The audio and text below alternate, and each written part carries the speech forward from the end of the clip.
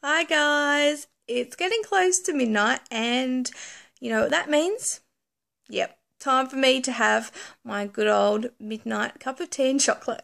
Now, I usually have my good old Cadbury Dairy Milk, but I'm treating myself tonight to a yummy Tim Tam. Mm-hmm. Now, the problem is, my lips. What am I going to do? I'm going to lose my beautiful lip colour if I do my good old Tim Tam straws. Don't worry about that. I have my lip stain on, so it's not going anywhere. Watch this.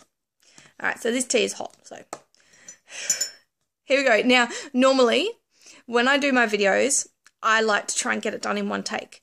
But because of what I get to eat for this one, I'm kind of hoping I get it done in more than one take, so I have more Tim Tams to eat.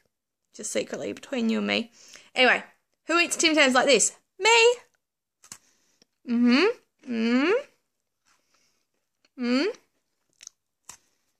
Mm-hmm. What's this? This lip stain's not going anywhere. Ready?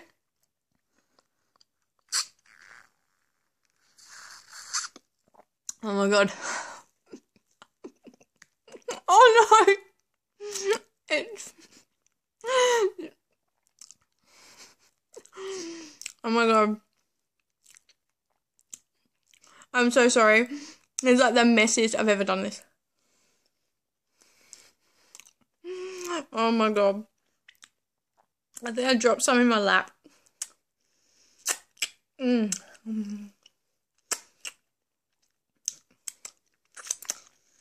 I'm pretty sure there's some in my tea. Somewhere.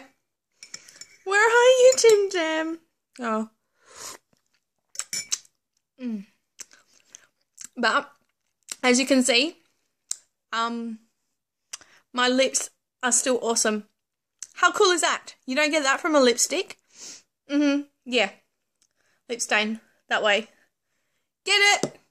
Bye. I'm going to go enjoy my tea. Maybe get another Tim Tam just for the fun of it. See ya.